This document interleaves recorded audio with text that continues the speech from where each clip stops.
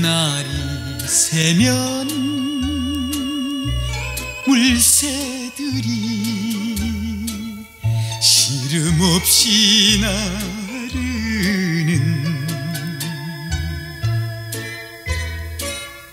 꽃 피고 새가 우는 논밭에 묻혀서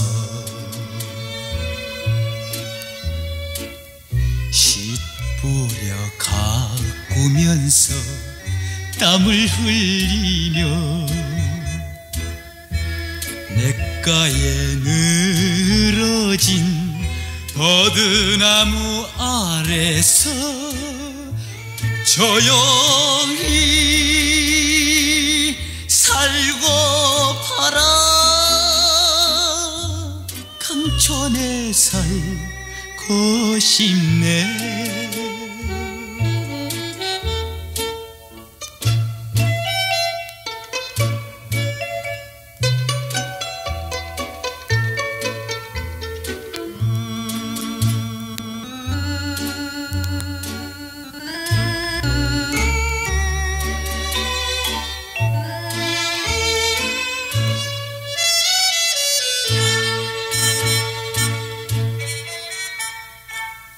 해가 지면 뻐꾹새가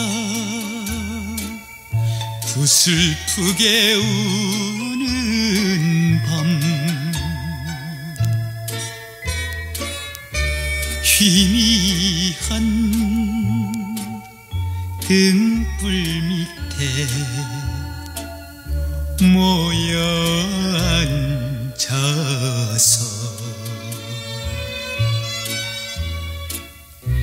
다정한 친구들과 정을 나누고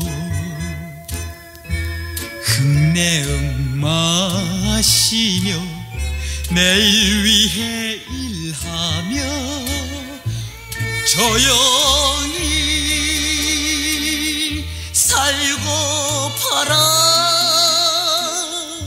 강촌에 살 고 싶네